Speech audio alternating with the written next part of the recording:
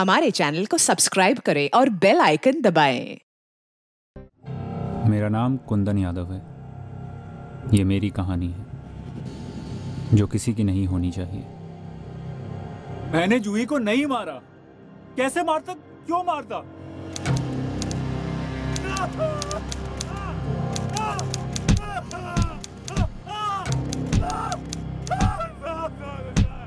जूही mobile और हथियार कहाँ छुपा रखा है कुंदन। बोल कुंदन। बोलेगा नहीं तो और पिटेगा। हम तुझसे उगलवा के ही रहेंगे इस कुंदन ने ही हमारी बेटी जूही का कत्ल किया है। मरने से दो दिन पहले जूही का फ़ोन आया था। कह रही थी कि वो किसी से भी शादी कर लेगी लेकिन कुंदन से हरगिज नहीं।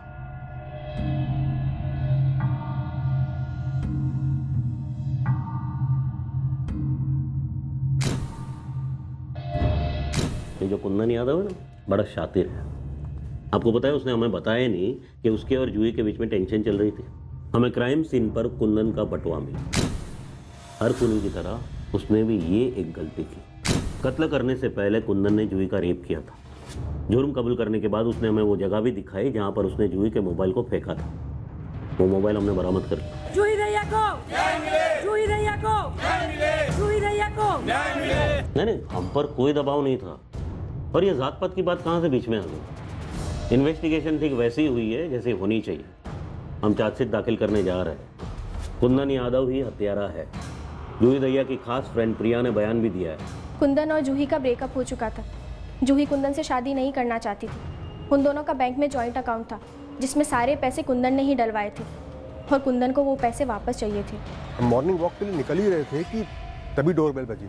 हमने दरवाज़ा खोला तो देखा कि कुंदन था। कुंदन ने बताया कि जूही के साथ कुछ गलत हुआ है। वो दरवाज़ा नहीं खोल रही। हमें एक बात बहुत अजीब लगी कि सिर्फ़ सामने का दरवाज़ा ना खुल पाने की वजह से इस कुंदन को कैसे पता चला कि जूही के साथ कुछ गलत हुआ है। हमें तब भी यही लगा था कि ज़रूर कुंदन ने कुछ किया है। नहीं हमारा बेटा खूनी नहीं है। वो जूही से बहुत प्यार करता था। पुलिस वालों ने खूब पीटा है उसे। कुंदन जूही को मार ही नहीं सकता।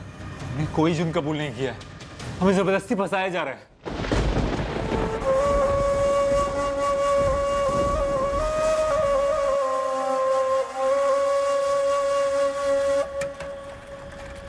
जूही दहिया के मर्डर के लिए कुंदन यादव की गिरफ्तारी में इस आदमी की खामोशी अहम रही थी। ये उस मर्डर के बारे में जानता था, लेकिन किसी के सामने एक शब्द नहीं बोला।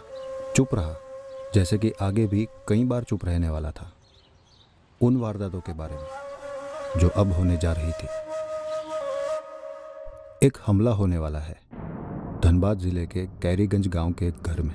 यह गाँव धोलकापुर से दूर नहीं है। जहाँ जूही दैया का कत्ल हुआ था।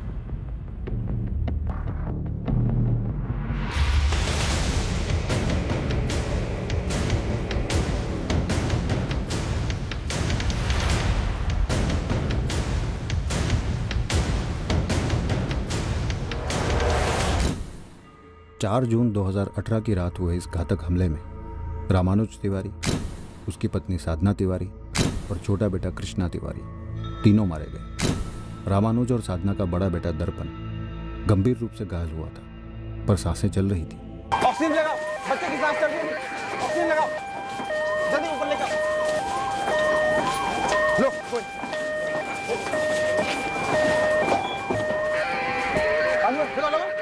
जल्दी।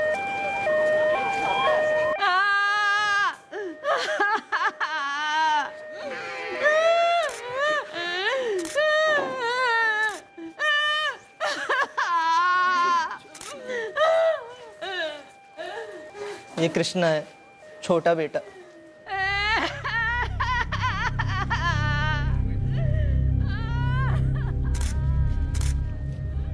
ये हमारी साधना भाभी और ये रामानुज भैया।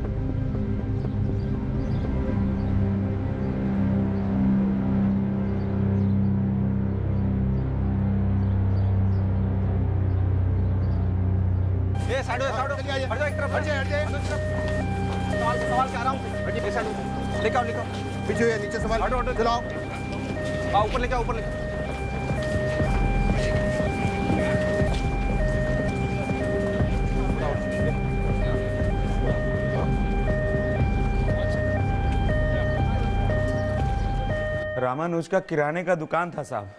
हर रोज दुकान खोलने से पहले हमारे यहाँ आता था और अम्मा से मिलकर जाता था।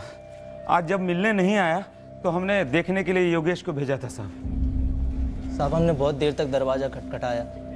किसी ने नहीं खोला। फिर देखा पीछे का दरवाज़ा खुला हुआ था। अंदर आकर देखा तो हर जगह खून और ये चारों पड़े हुए थे। पुरुषोत्तम और योगेश? तुम दोनों भाई एक साथ रहते और रामानुज यहाँ पे अकेला रहता था? हमारा घर बस बगल वाला है साहब। रामानुज ने ये वाला खरीदा और यहीं से अपनी गृहस्थी शुरू कर लिया। हमको तो नहीं पता साधना घर पर क्या क्या रखती थी सालिनी को पता हो शायद। मैडम यहाँ पर बहुत सारा नगद और गहना रहता था। तुम्हें कैसे पता शालिनी? हम और साधना मिलकर गाँव की औरतों के लिए ग्रुप चलाते हैं। कौन सा ग्रुप? चिटफंड जैसा।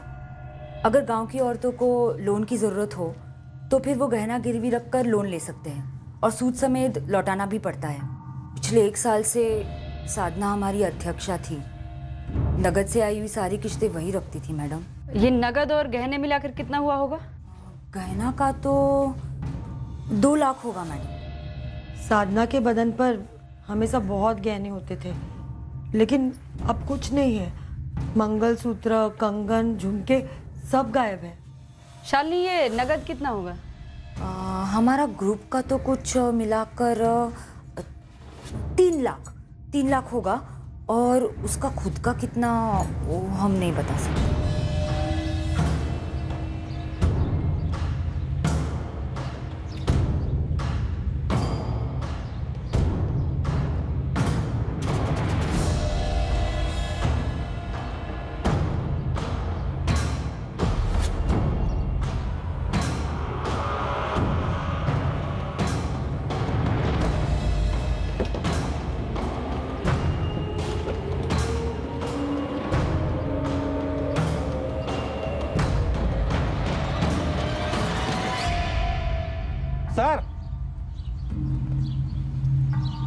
ये भी इसी घर के कंपाउंड से मिला है। पता करो ये घर किसका है।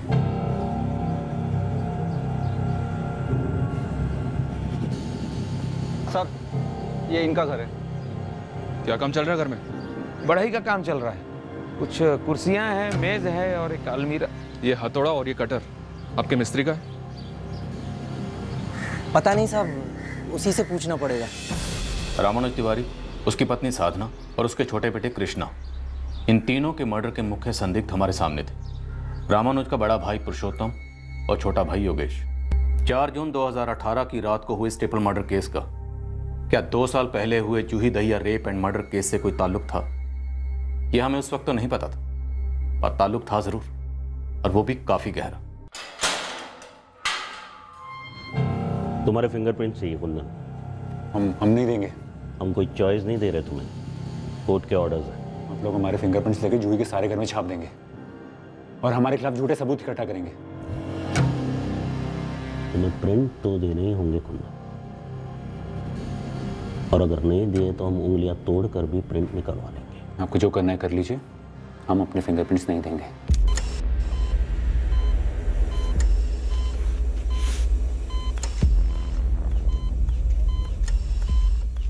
कुल मिलाकर पंद्रह टांके लगे हैं। कंकशन काफ़ी गहरा है। ये वाला जो हिस्सा है ये तो अंदर चला गया। लड़का लकी है कि उसकी बाएँ आँख बच गई। खतरे से बाहर है अब फ़िलहाल के लिए तो हाँ।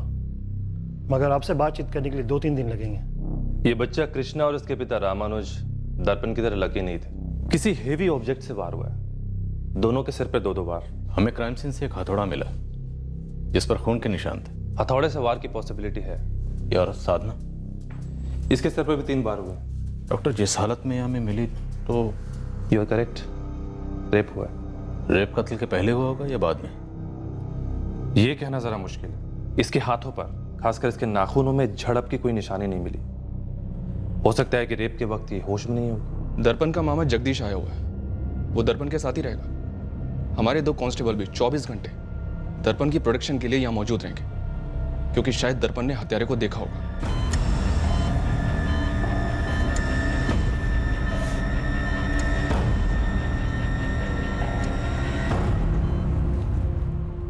बंसीलाल तेरे ही है ना ये? जी हाँ वो पुरुषोत्तम भाई के घर पे काम चल रहा है ना तो काम करने के बाद औज़ार वहीं पर छोड़ देते हैं। तेरे इन औजारों में से इस हथौड़े से तीन कत्ल हुए हैं और एक बाल बाल बचा है। हमने सुना पुरुषोत्तम भाई ने बताया।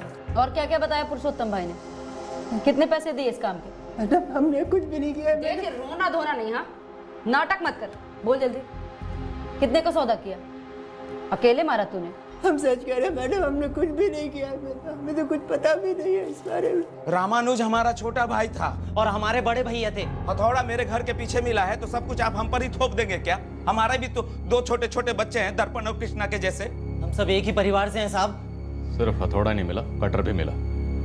जैसे शायद दरवाजे की कुंडी काटी गई हो। तो कहना क्या चाहते हैं? दो हफ़्ते से घर में कारपेंटरी का काम चल रहा है उसी का औज़ार रहा होगा। और खुद के भाई और उसके परिवार को खत्म कर दें ऐसे वैशी नहीं है हम लोग। और उतने बेवकूफ़ भी नहीं कि अपने घर पर पड़े औजारों को इस्तेमाल करें और उन्हें छुपाने के बजाय अपने घर के पीछे फेंक दें। औजारों के साथ साथ बंसीलाल का भी इस्तेमाल किया होगा तुम लोगों ने?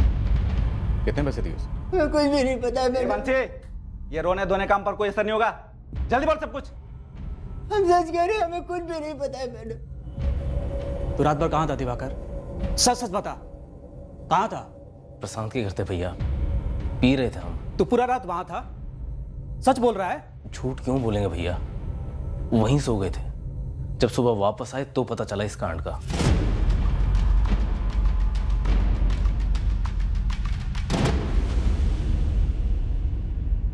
ये ले कल्पना बीस हज़ार है। छह महीने बाद तू पच्चीस लौट आएगी। और? यहाँ दस्तखत। पर साधना दीदी पिंकी से तो आपने चार हज़ार रुपये सूद लिया था। तो फिर हमसे पाँच क्यों? वो पिछले साल था कल्पना। अब तूने पाँच हज़ार जमा किए थे उसका ब्याज भी तो तुझे ज़्यादा मिला था ना? हर साल ब्याज में थोड़ी थोड़ी बढ़त होती रहेगी। ये हमारे पाँच हज़ार और। इन्हें खाते में जमा कर लीजिए। ये जो चला रखा है ना तूने सब देख रहे हैं हम। अंधे नहीं है हम ललिता। हमने कुछ नहीं चला रखा है साधना। बेकार के इल्ज़ाम लगाना बंद करो हम पे। हमारे पति के पिछले छह महीने के पैसे जो बकाए थे वही दिए आज फैक्ट्री में। उसी में से पाँच हज़ार जमा किए हमने। हम पैसे की बात नहीं कर रहे ललिता। क्या?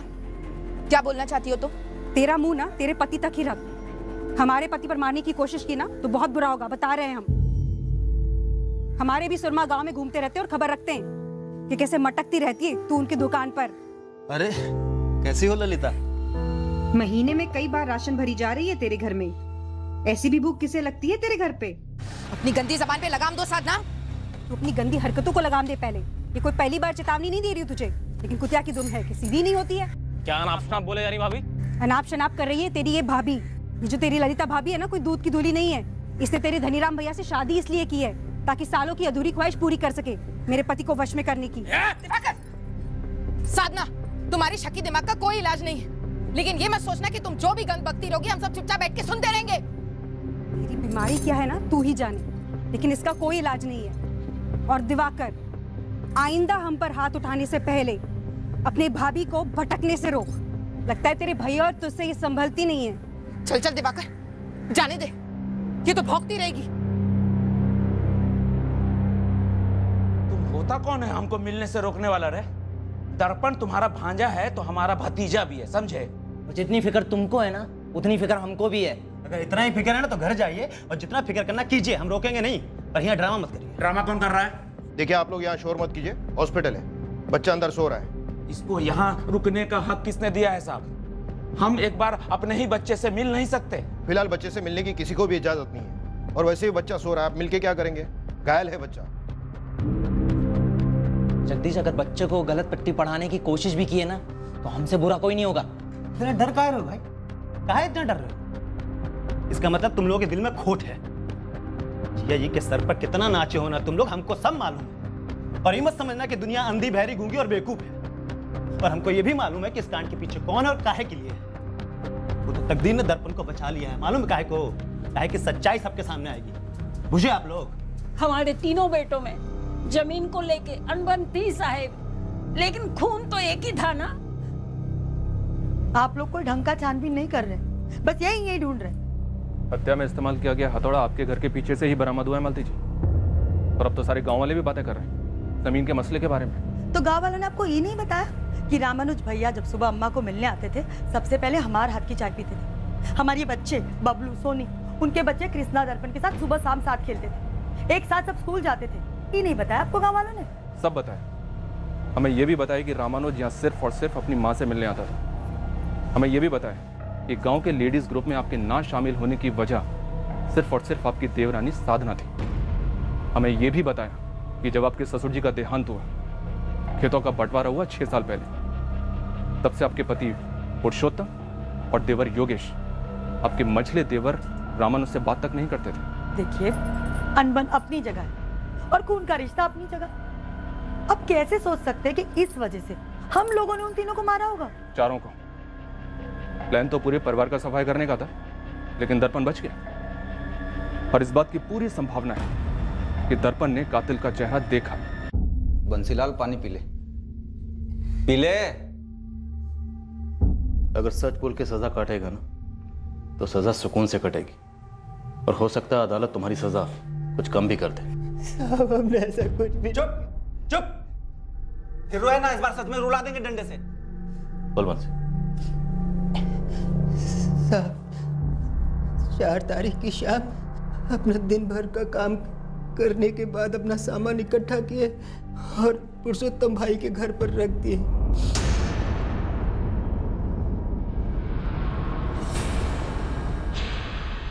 और फिर हम तो अपने घर चले गए थे साहब। हमें तो सुबह में पता चला कि वहाँ पर ये खून आखिरी मौका दे रहा हूँ। बोल। पुरुषोत्तम और योगेश ने तुम्हें इस काम के लिए कितने पैसे दिए? साहब हम तो पंद्रह सौ रुपए में काम करते हैं साहब। ये हमारी मजदूरी है वहाँ पर। तुम महज पंद्रह सौ के लिए तुमने तीन लाशें बिछा दी। बलात्कार की। नहीं नहीं साहब हमने किसी के साथ कुछ भी नहीं किया। हमने बच्चों की सौगंध खाकर गए थे हमने कुछ भी नहीं किया। भैया साधना भाभी के साथ बहुत गलत काम किया गया है। कहीं ये लोग दर्पण से कुछ ज़बरदस्ती बुलवा न ले। क्या आपको लगता है कि दर्पण आपका या मेरा नाम लेगा?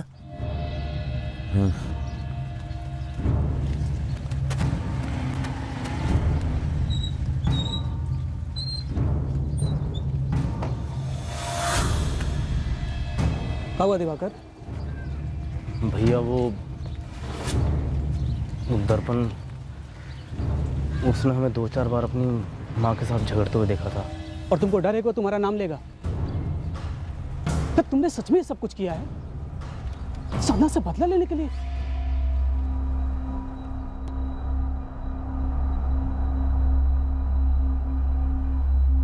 बेटा बिल्कुल ही दर्द नहीं होगा अब डरिए नहीं।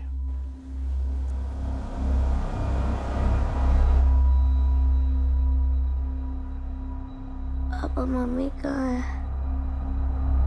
कृष्णा कहाँ है? दर्पण की हालत अभी भी खस्ता थी, पर वो बहुत जल्द ठीक होने वाला था, और वो खुद हमें बताने वाला था कि उस रात उन पर हमला किसने किया था। और उसे अब तक बताया नहीं गया था कि उसका पूरा परिवार माँ बाप और छोटा भाई इस हमले में मारे गए थे।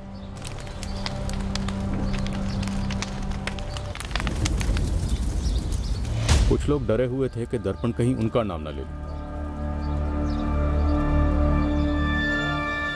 शायद हत्यारे ने कभी सोचा ही नहीं था।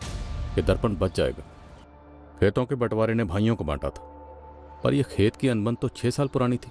इससे तीन होंगे और वो भी बराबर बराबर। रामानुज भैया ऐसा कैसे हो सकता है? आपका घर खेती की आमदनी से नहीं चलता है। देखो रामानुज हम और योगेश सिर्फ़ खेती करना जानते हैं और हमारा कोई अलग से धंधा नहीं है ना तुम्हारी तरह? लेकिन भैया किराने की दुकान हमने अपनी मेहनत से बनाई है। आपसे या बाबूजी से अलग से पैसा नहीं लिया था हमने? तो साधना हम सब खुश है उसके लिए। और भगवान से प्रार्थना करेंगे कि चार दुकानें और बनाओ। पर खेती तो हमारे लिए छोड़ दीजिए। इस बात का कोई आधार नहीं है कि हमारा अपना धंधा है इसलिए हम पुश्तैनी ज़मीन में हिस्सा न लें। अरे कौन सी कानून की किताब में लिखा हुआ है ये? भैया बात कानून की नहीं है। थोड़ी सी समझदारी और दिलदारी की है। देखो रामानुज समझदारी तो इसी बात में है कि वो ज़मीन हम दोनों किसानों को मिलना चाहिए। काहे कि उसी ज़मीन पे हम दोनों भाई मिलकर हल चलाते हैं। हमरे हिस्से की ज़मीन पे हम हल चलाएँ या चलवाएँ? ये जिम्मा हमारा है भैया। और अम्मा बस अब और बहस नहीं करते इस बात भैया आपने अपना घर भी अलग बनाया हुआ है। और साधना भाभी आपको तो आपके ग्रुप से पैसे भी आते हैं। योगेश उसका क्या लेना देना इससे? अम्मा तुम चुप ही रहोगी कि कुछ बोलोगी भी? अरे हमारा तो ये कहना है बंटवारा काहे करत हो? तीनों भाई मिलके खेती बाड़ी करो और जो आमदनी होवे उसको बांट लो। तो वही तो हम कह रहे हैं। ज़मीन के तीन हिस्से कर लेते हैं। सब अपना अपना हिस्सा संभाले बस। ये पहले हमारे घर को अलग किया।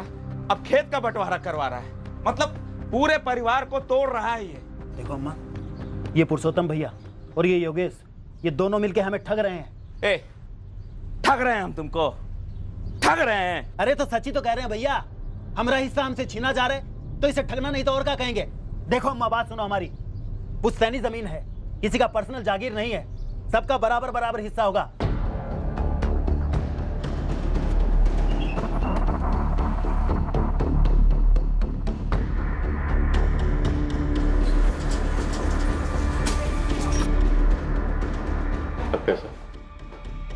साहब अच्छा अभी भी बहुत सहमा हुआ है। हम उसको सब बता दिए। बात कर पाएगा हाँ सर। कुछ बताया इसने?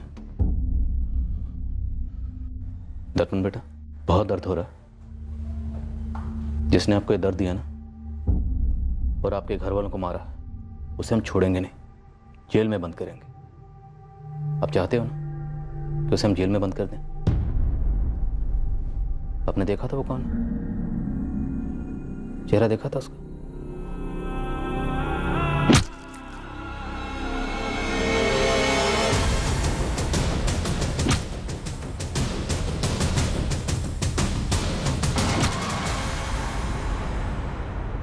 आपने देखा था वो कौन था?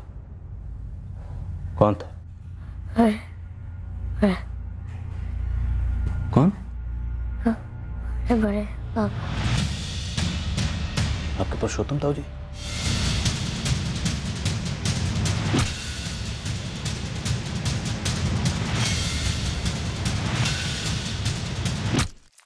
नीरज इस पुरुषोत्तम को उठाओ। डंडा करते हैं उठाओ इसे।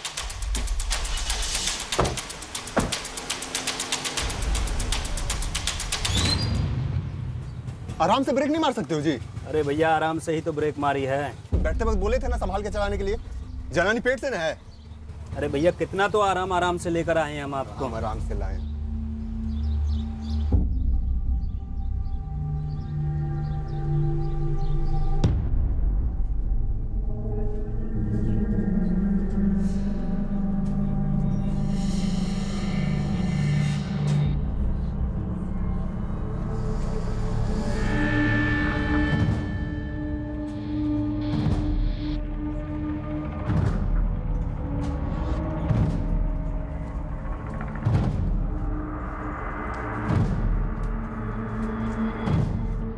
एक बार हमारी बात सुन लीजिए साहब। साहब ये दोनों मामा मामी मिलकर बच्चे का कान भर दिए हैं साहब। और दर्पण ज़मीन के मसले से पहले से वाकिफ था साहब। ये तो इन लोगों ने भड़काया है आग लगाया है साहब। और बच्चे का जो हालत है आप देख रहे हैं। दर्पण ने मैं साफ़ साफ़ बताया है कि उसने तुम्हारे हाथ में हथौड़ा देखा उसे मारने से पहले। हम कह रहे हैं पट्टी पढ़ाया गया है साहब। हम अपने भाई को खुद के भाई को मारेंगे और उसके बीवी बच्चे को भी मारेंगे। गलत फहमी है साहब आपको। सर हम अपनी मंगेतर को मारेंगे। अपनी मंगेता को जिसे हम जान से ज़्यादा प्यार करते थे। सर, हम शादी करने वाले थे, हम साथ में रहने वाले थे। सर, हम जूही को क्यों मारेंगे, सर? हम अपनी बहन को मारेंगे, साहब। अपनी माँ को भी मारेंगे। साहब, कशिश हमारी सगी बहन थी। उसके साथ हम ऐसी हरकत करेंगे।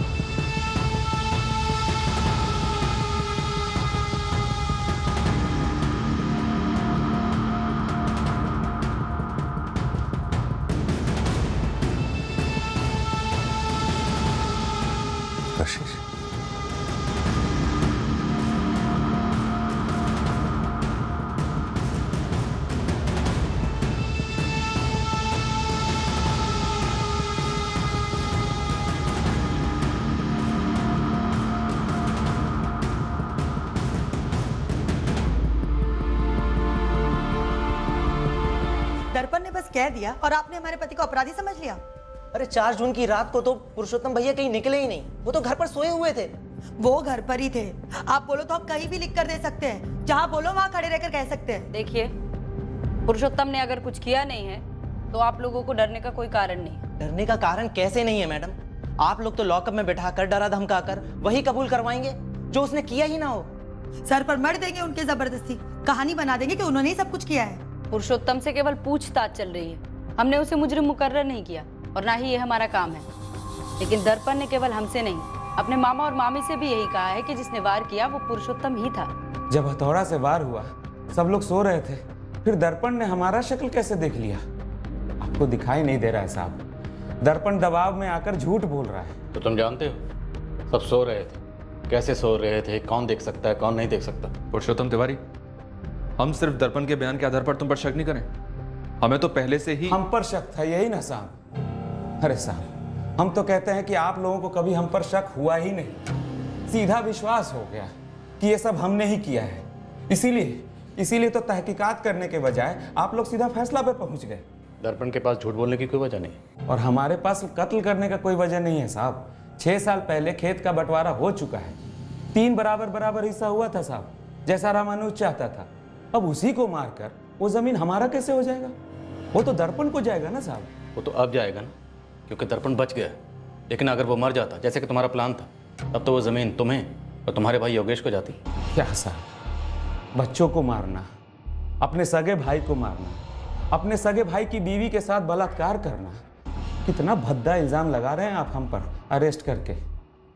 अरे साहब बचकाने में दर्पण कुछ बोल दिया उसको सच मानकर आप केस बंद कर देंगे। जबकि असली मुजरिम, असली कातिल आराम से बाहर घूम रहा होगा, इसका अंदाज़ा भी है आपको सर, हमने जूही को नहीं मारा है और यही हकीकत है, यही सच है। लेकिन आपने तो मन बना लिया है, हमें गुनहगार साबित करने का।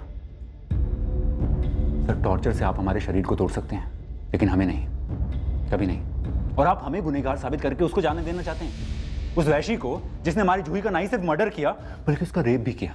अब ये बिजली का झटका देकर क्या बुलवाना चाहते हो? कि हमने अपनी बहन का खून किया है? अपनी माँ का खून किया है? अपनी सगी बहन का तुझे कोई बिजली का झटका फटका नहीं दिया जा रहा समझा? इसे ब्रेन मैपिंग बोलते हैं। मशीन बताएगी कि तू कितना सच बोल रहा है और कितना झूठ बोल रहा है। तेरे भेजे में जाकर सच्चाई पता करेगी। ले चलो इसे। सच्चाई तो ये है कि आप मार पीट कर मशीन मशीन इस्तेमाल कर कर हमारी माँ और बहन का खून हमारे ही माथे पर डाल रहे हो। जो हमने किया ही नहीं है। और जो करके बैठा है उसको कोई नहीं पकड़ रहा है। वो आज भी आज़ाद घूम रहा है। वो लोग हमारे अपने लोग थे साहब। अपने लोग थे। आप एक बार हमको दर्पण से अकेले में बात कर लेने दीजिए। बच्चा है बहक गया होगा। इस पुरुषोत्तम तिवारी के खिलाफ हमारे पास कुछ ठोस होना चाहिए सर। इस दर्पण का स्टेटमेंट कुछ ठोस नहीं लगता। तुम्हें भी लगता है? उसे पट्टी पढ़ाई गई है। उसका ब्रेन वॉश हुआ। कहना मुश्किल है सर कि वो सच बोल रहा है या उससे झूठ बुलवाया जा रहा है। लेकिन इतना तो है कि बच्चे के मारे गए बाप और पुरुषोत्तम तिवारी के बीच की खटास ने। बच्चे के दिमाग पे असर तो किया ही होगा। ये तुम किस बेसिस पे कह रहे हो नीरज? सर वो पांडे। सर ये दर्पण के मामा और मामी जो है ना वो दर्पण से बार बार ये कहे जा रहे थे कि ताऊ पुरुषोत्तम और चाचा योगेश की मिली भगत है। इस मामा जगदीश का कोई निजी मतलब है सब में? सर जी ये तो नहीं बता सकता लेकिन देखिए ना अभी बच्चा है ग्यारह साल का और छह साल पुराने ज़मीन के मसले की बात को उसके मामा मम्मी बार बार हथौड़ा मारे जा रहे थे। तो तब से मुझे ऐसा लग रहा है कि बच्चे ने भी अपने दिमाग में कहीं ना कहीं एक तस्वीर सी बना ली हो कि उसके ताऊ और उसके चाचा ने उसके माँ बाप और उसके भाई की हत्या कर दी है। ऊपर से रामानुज के घर से जो गहने चोरी हुए और साधना के लेडीज़ फंड से जो कैश चोरी हुआ वो भी पुरुषोत्तम के घर के पीछे नहीं मिला? तो तुम्हें लगता है कि उस एक हथौड़े को आधार बनाकर हमने अपनी सुई पुरुषोत्तम पर अटका रखी जो वारदात में इस्तेमाल हुआ और घर के पीछे से मिला? पक्का तो नहीं कह सकते सर और शायद। हाँ लेकिन इतना तो पक्का है। कि सिर्फ़ दर्पण के स्टेटमेंट के आधार पर हमारी चार्जशीट मज़बूत नहीं बनेगी। दर्पण की दिमागी हालत इस वक्त नाजुक है कह सकते हैं धुंधली है। हो सकता है कि ऐसे दिमाग को एक तस्वीर दिखाई गई। किसी पुरानी दुश्मनी की तस्वीर, जो बार बार दिखाई गई, जिसके चलते बच्चे के ऐसे दिमाग ने उस तस्वीर को सच मान लिया। ऐसी गलती हम नहीं कर सकते। कि हम उसकी देखी हुई तस्वीर को बिना सबूत के सच मान बैठे। और उस तस्वीर पर अपने केस का फ्रेम चढ़ाकर इस केस के मुख्य संदिग्ध को गुनेगार मान बैठे और कील ठोकर दीवार पर टांग दे। हमारी बात सही है नीरज लेकिन हमारे स्टेपल मर्डर और रेप केस की असली तस्वीर कौन सी हो सकती है? सर इस केस में एक नया एंगल उभर कर आया है। साधना के पड़ोसन शालिनी नेगी ने फ़ोन किया था। वो साधना की लेडीज़ ग्रुप के मेंबर भी है। उसने तो एक नई बात बताई। कोई नया एंगल बन रहा है? Yes sir. मैडम हम सब ग्रुप की औरतें बैठकर चुराए हुए जेवर और नगद का अनुमान लगा रहे थे। बैठकर सोच रहे थे कि भरपाई कैसे की जाए। तभी ये बात सामने आई। लेकिन शालिनी क्या ललिता और साधना के हस्बैंड रामानुज के बीच वाकई कुछ चक्कर था? वो हम कैसे बता सकते हैं मैडम? हमको क्या मालूम? हाँ लेकिन एक बात ज़रूर है। ललिता के देवर दिवाकर और साधना के बीच झगड़े ज़रूर हुए थे। और जब ये सब कांड हुआ तब ललिता बहुत डरी हुई थी। मानो कि उसके घर पे ही कुछ हुआ हो। उसके पति धनीराम और देवर दिवाकर ने मिलकर ही कुछ किया हो।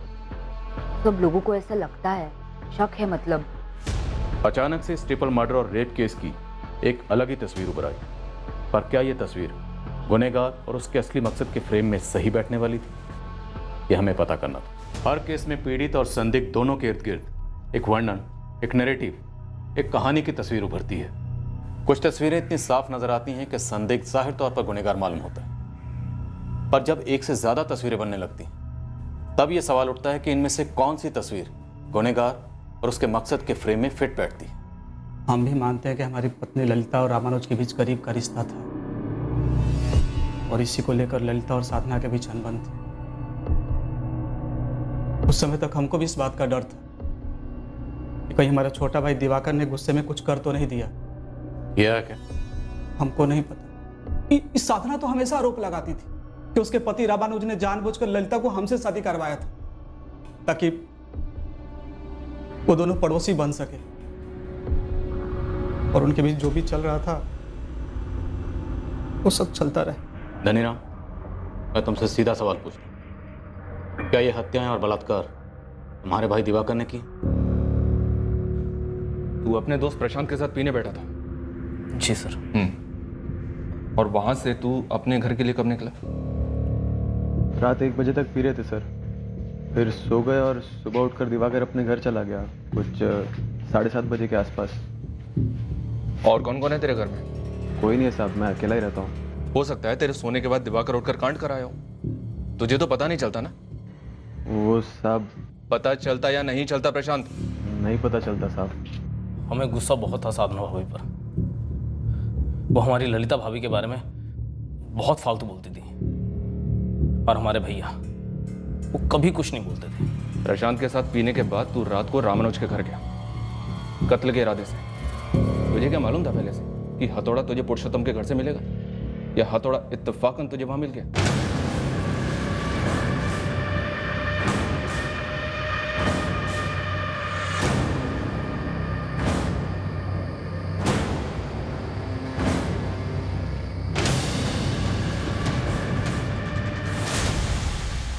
सर, जब हमने साधना भाभी की लाश को देखा, हम हिल गए थे।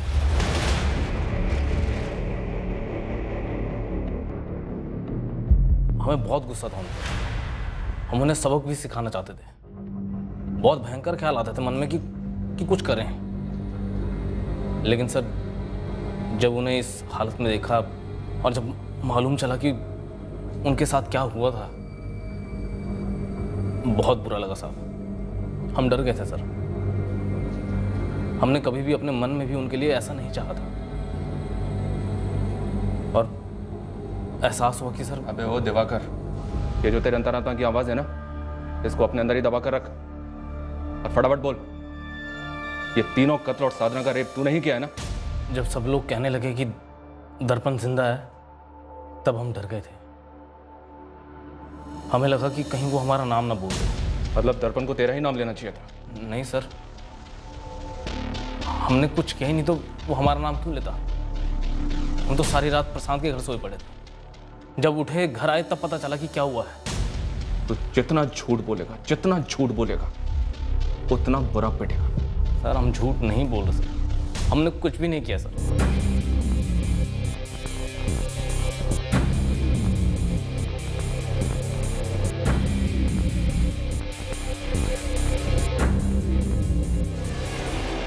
कैश और जेवर कहाँ रखे हैं? जेवर तो बेच दिए होंगे अब तक।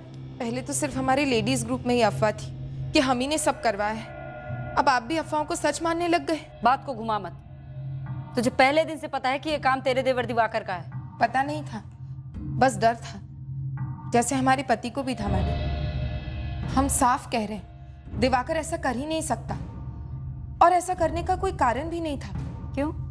अफेयर नहीं था तेरा रामानुज के साथ? सिर्फ़ धुआँ था मैडम।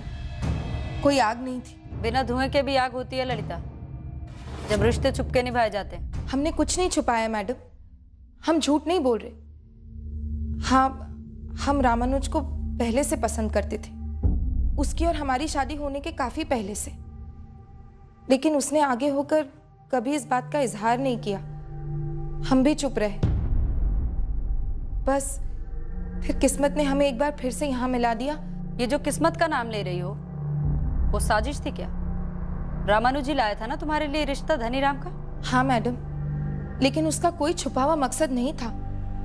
वो तो हम ही खुश हो गए थे कि रामानुज के पड़ोस में रहेंगे। उसे रोज देख सकेंगे उससे बात कर सकेंगे। हम कसम खा के कहते हैं, मैडम, हमारे बीच कोई नाजायज छुपाने जैसा रिश्ता नहीं था। पर साधना को ये बात कभी समझ ही नहीं आती। कि बिना आग का धुआँ ही था, मैडम। हम फिर कह रहे हैं, दिवाकर ऐसा कभी नहीं कर सकता।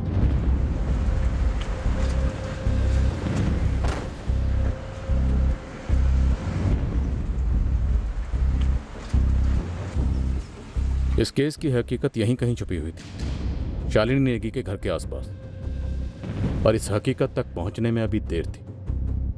दिवाकर के खिलाफ हमें ऐसा कुछ भी नहीं मिला। जो उस एंगल को आगे बढ़ाता। ठीक उसी तरह पुरुषोत्तम के खिलाफ भी हमारे हाथ कुछ नहीं आए। इस केस की तहकीकात के दौरान हमारा ध्यान हमारे ही ज़िले धनबाद के कोशी गाँव में हुए एक केस पर लाया गया। इस केस की डिटेल्स हमें हमारे डिविजनल हेडक्वार्टर्स ने दी।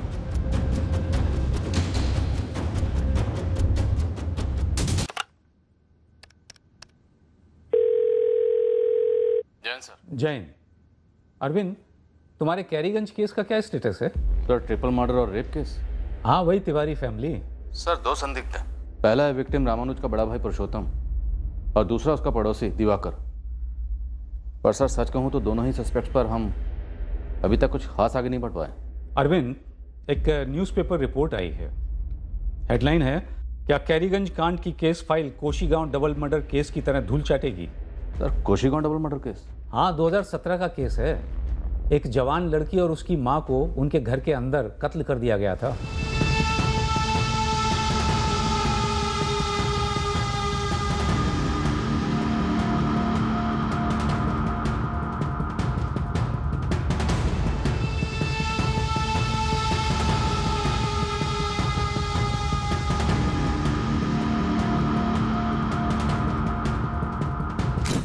जुलाई 2017 में धनबाद ज़िले के कोशी गाँव में निर्मला महतो को उसके घर में मार डाला गया। वार उसके सर पर किया गया था। साथ ही उसकी बेटी कशिश महतो को मारा गया और उसका बलात्कार भी किया गया।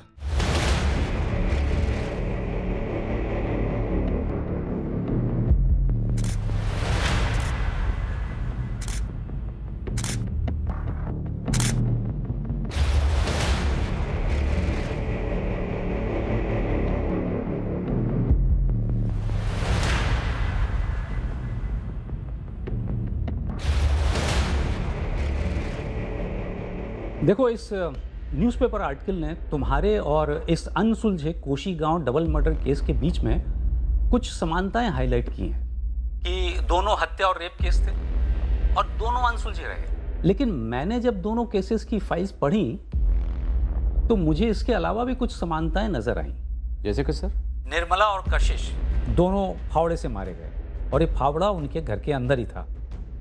तुम्हारे केस में रामानुज साधना कृष्णा और दर्पण सभी पर हथौड़े से वार हुआ और ये हथौड़ा क्राइम सीन के पास था।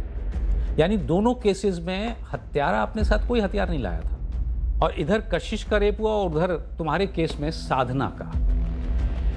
और शायद दोनों केसेस में रेप वार करने के बाद हुआ बेहोशी की हालत। में सर अगर आप सजेस्ट कर रहे हैं कि दोनों केसेस में कातिल एक ही है तो क्या मैं दोनों केसेस को एक साथ इन्वेस्टिगेट करूँ? हाँ। इस कोशीगांव केस में मुख्य संदिग्ध था कशिश का भाई निर्मला का बेटा सुधांशु महतो।